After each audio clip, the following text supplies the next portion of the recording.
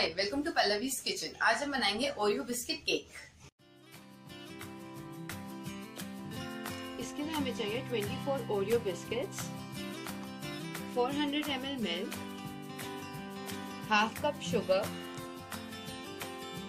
half teaspoon baking soda half teaspoon baking powder pinch of salt cake हम pressure cooker में बनाएँगे तो pressure cooker में हम दो कप सॉल्ट डाल देंगे और इसको प्री हीट होने के लिए रख देंगे।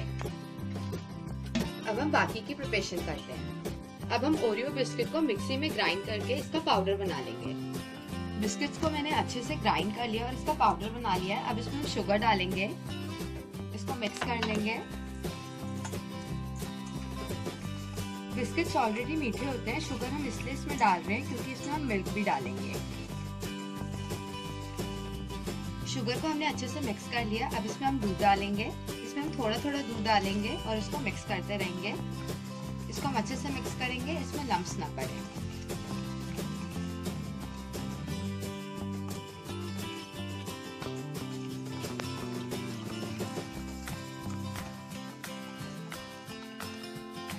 देख सकते हो, इसकी कंसिस्टेंसी लिक्विड हो गई है। हमें इतनी कंसिस्टेंसी रखनी है, इसमें 300 ml हमने मिल्क यूज़ किया है। इसको हमने अच्छे से मिक्स करेंगे।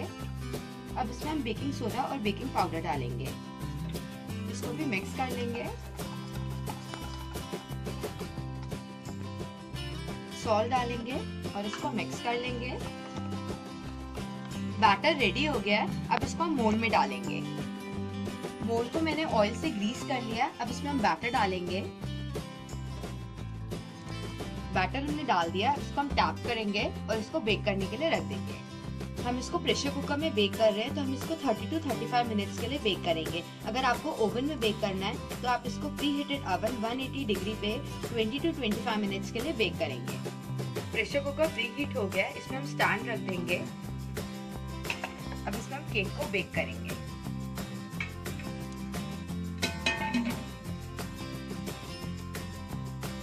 हम इसको 30 टू 35 मिनट्स के लिए बेक करेंगे। केक को हमने 35 मिनट्स के लिए बेक किया अब इसको हम निकाल लेंगे और 10 टू 15 मिनट्स के लिए ठंडा कर लेंगे। उसके बाद डीमोल्ड करेंगे।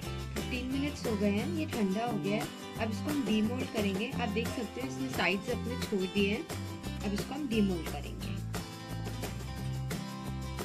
केक को हमने डीमोल्ड कर दिया है। आप देख सकते हो ये कितना फ्लफी बना है। ये खाने के लिए रेडी है।